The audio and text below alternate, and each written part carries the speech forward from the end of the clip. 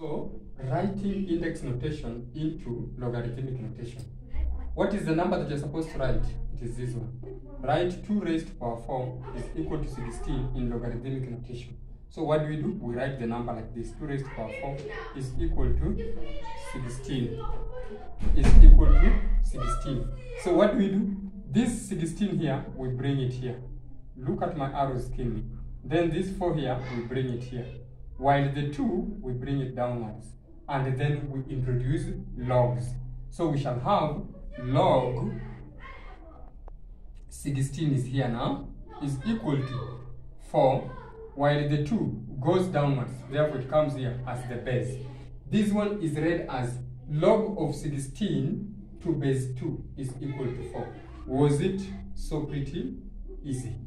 Thank you for watching and following.